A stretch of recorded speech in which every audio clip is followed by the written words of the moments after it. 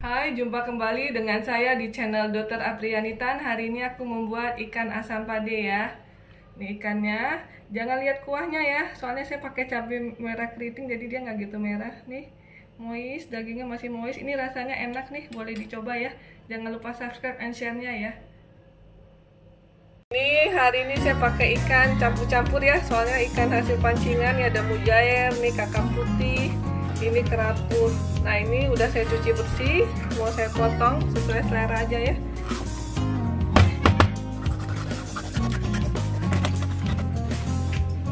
Ini saya kasih jeruk tipis dulu ya.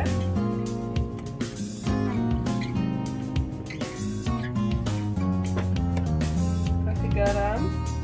Cukupnya aja. Ini kita diamkan 30 menit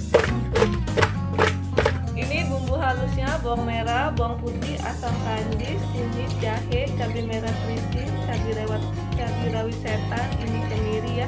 Ini nanti sebagian saya buang bijinya ya, soalnya untuk anak-anak makan. Ini untuk yang geprek ya, ini geprek, bawang geprek, nanti seringnya geprek. Ini daun jeruknya kecil-kecil, jadi saya kasih banyak kan. Ini ikan yang udah saya marinasi 30 menit, ada keluar air ya. Ini nanti kita buang airnya ini sausnya saya geprek ya. Ini sore juga. Merah keriting karena saya nggak mau gitu pedas. Saya buang bijinya sebagian karena saya mau ngambil merahnya dari cabai. Kalau ada cabai merah besar lebih bagus tuh merahnya ya. Karena saya nggak ada cabai jadi saya pakai cabai keriting aja. Ini dibuang bijinya nanti kita blender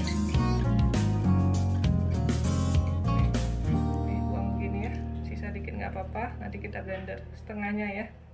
Ini saya mau tumis minyaknya sedikit aja cukupnya ya.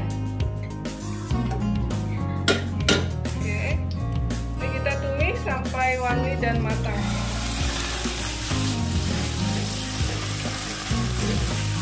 Ini sudah kering ya dan wangi ya ini saya matiin saya pindahin ke panci ini udah saya kita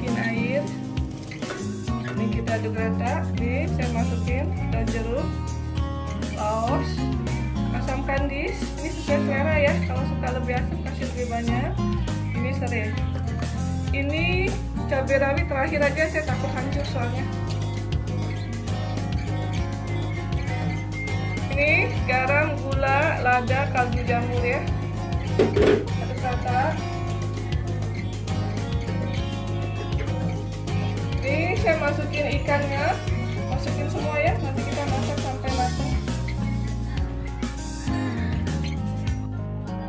Ini ikannya sudah masuk semua kita tutup ya pakai api sedang.